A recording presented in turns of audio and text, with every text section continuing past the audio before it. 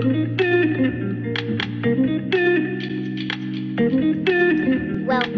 to One Pizza Too Many. Cooking and unboxing videos. Hi everyone, welcome back to the channel One Pizza Too Many cooking and unboxing videos and today I'm back in the wilderness at my mate Kel's small holding um, because let's face it what a cracking place to film. Um, and he has bought a new camping fridge.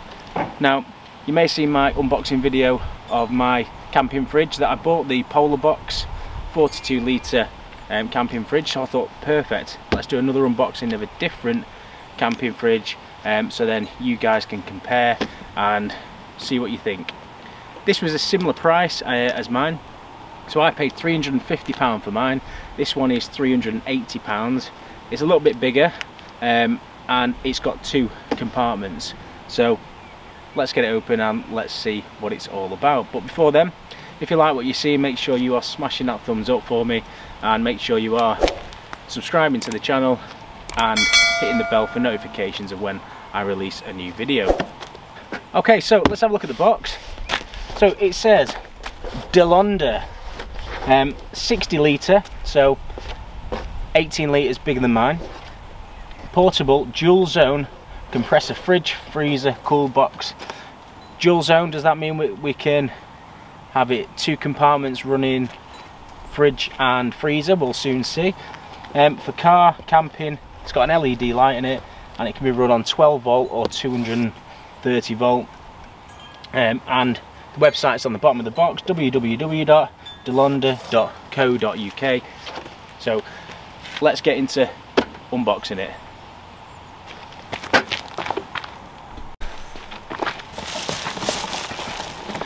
Okay, so there we go. And straight away, it's got wheels. Mine's not got wheels, so you can pull it along. Very, very handy because I did fill mine up with beer, I mean beverages, um, and I could hardly lift it. So that is a really handy feature. I like that. So then we're going to lift the packaging off I'm just going to put everything back in the box to stop it blowing away. And a nice sort of logoing on the side, Dellonda. And then round the front, if you've seen my video, the panel drops down and I've got all the controls, but this one's just on top. We've then got a handle for pulling which is cool. Or you can use it just for lifting. And then if I lift it up you'll see the control panel just here at the front right let's get it open. I'm going to bring it in closer so you can see when I open it and you can have a look at the little screen as well. Okay let's get it open and it is it is quite a hard open. It's got little plastic lugs at the side to lock it whereas mine has a clip to you know actually a little handle you have to press to unlock. So that's one difference apart from the obvious way it opens then once we're inside we've got a box. I love a box in a box. And we have the power adapter. And then we have the mains charger plug and then the car charger plug which obviously um, with us being out and about that's what we'll use to try this and um, plug it into the car and see if it see if it works. There's then paperwork. Okay so a little thank you for purchasing.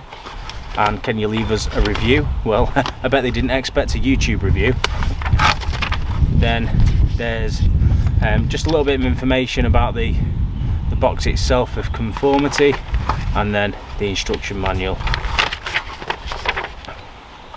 It's saying don't use it in the rain. Well we need to worry up because it looks like it is going to hammer it down tells us about the LCD display which I'll show you in a minute.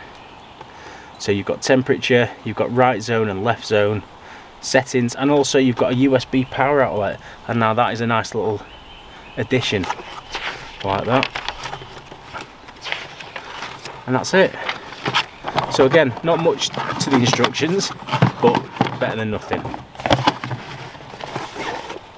Okay then um, we've got a basket shaped around the compressor. We've got another basket which is a lot deeper because it's not shaped for the compressor. And then we've got like a, a wall like that.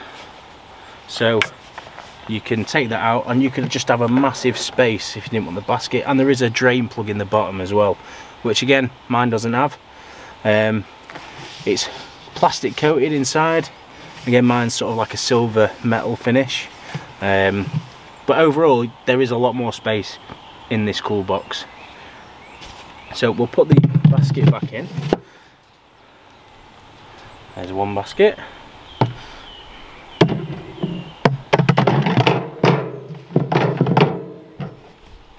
Now I'm interested to know how you can differentiate between the two zones in this because I can't see any outlets so it must be the edges get cold different temperature and it regulates it through the the outer sort of skin of the cool box. If you know hit me up in the comments let me know. So close the lid and then if I spin it round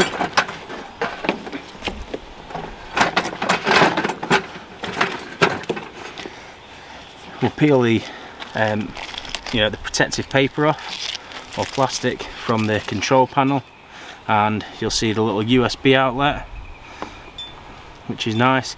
And then you've got your left zone and your right zone. Um, so that's the compressor basket so it shows you a little cut out of the basket so you know that that's the back end and the full basket so you know it's this front side. Um, and then obviously you can just up and down on the temperature to regulate the temperature. So let's get it plugged in and let's see if it works. Fingers crossed. Right so we've plugged it into the car. Um, now remember before you do plug something like this in you need to wait at least six hours ideally overnight because Mr delivery person may have been a little bit rough had it upside down left and right. Um, so you need all the uh, liquids to settle in the compressor units and things like that. So just a little tip there. So we're going to plug it in so at the bottom and at the bottom it does say it's also 24 volt as well as 12 volt. So if you're a trucker you may be interested. So there we go. We're we're on with the power. That's always a good start.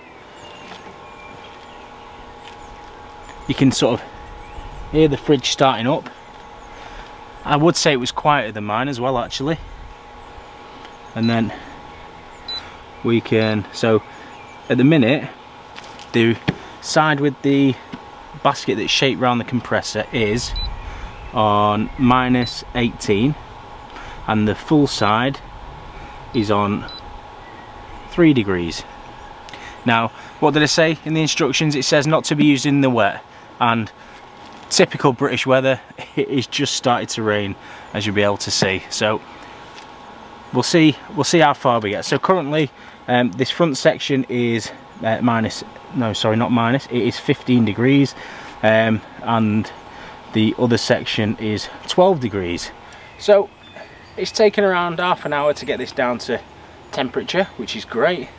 Um, similar time to mine and again so you know without stripping it apart the internals are, probably very similar. Uh, we will do a side-by-side -side comparison video at some point now interesting thing to note is the power cables are 3.5 meters long so a decent length.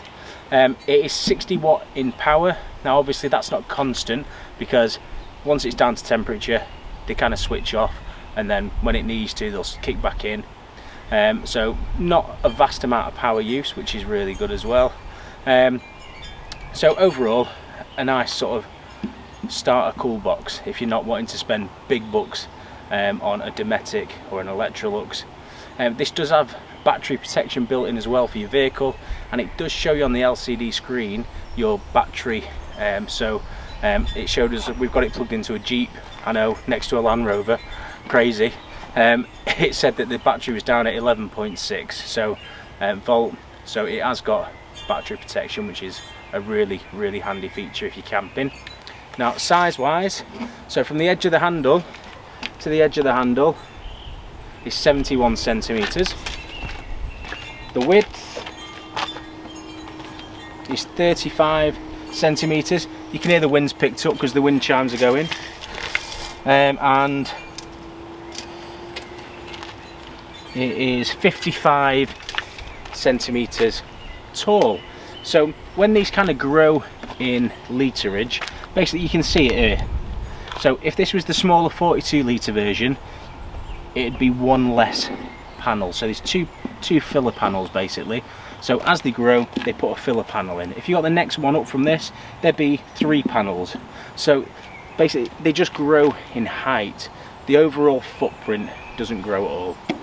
Um, so that's an interesting note. If you are thinking of getting the bigger version, footprint will be the same, but obviously the height, you need to take that into consideration for storing in your boot. So there we have it everyone. That is the end of the video.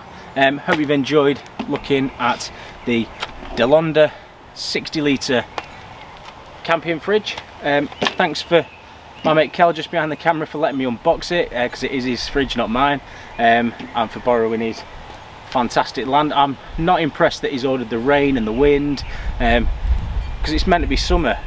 Um, but anyway let's open the next video. We've got a bit of warmth back with us.